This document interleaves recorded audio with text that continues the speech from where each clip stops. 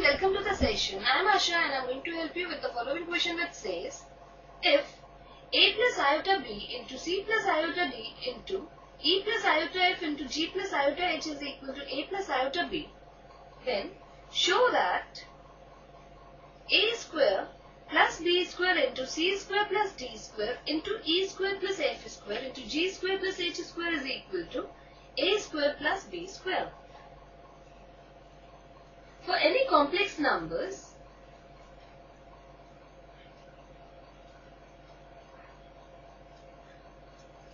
z which is equal to a plus iota b, conjugate of z is defined by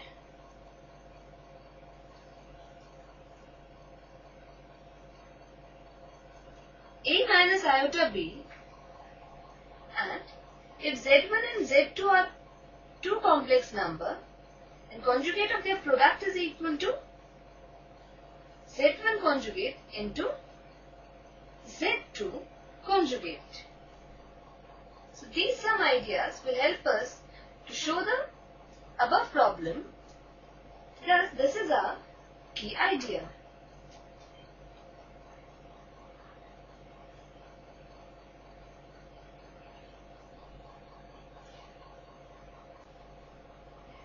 Begin with the solution.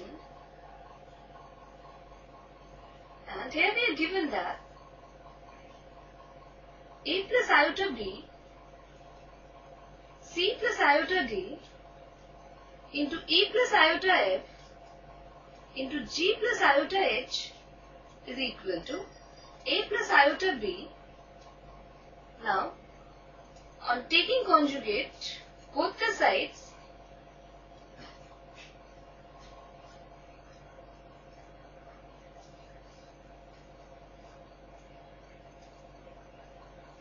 we have a plus iota b into c plus iota d into e plus iota f into g plus iota h is equal to a plus iota b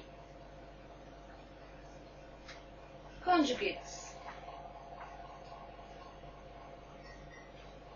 Which is further equal to a plus iota b conjugate into C plus iota d conjugate into E plus iota f conjugate into G plus iota h conjugate is equal to A plus iota b conjugate. Which is further equal to A minus iota b into C minus iota d into E minus iota f into G minus iota h is further equal to a minus iota b.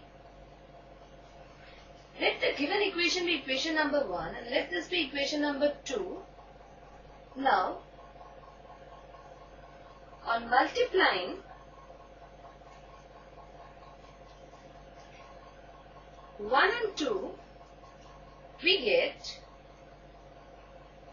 a plus iota b into a minus iota b c plus iota d into c minus iota d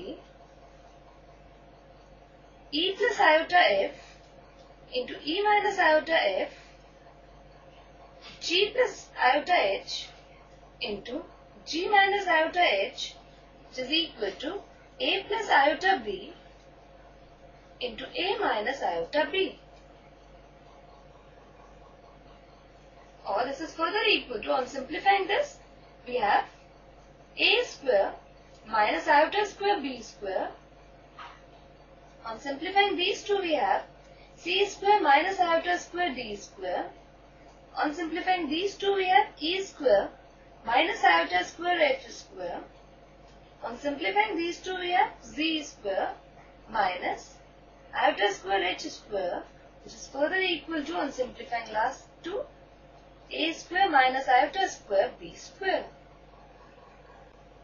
Now since iota square is equal to minus 1, therefore this can further be written as a square plus b square into c square plus d square into e square plus f square into g square plus h square which is equal to a square plus b square. This is what we have to prove. Hence, proved. So this completes the solution. Hope you enjoyed it. Take care and have a good day.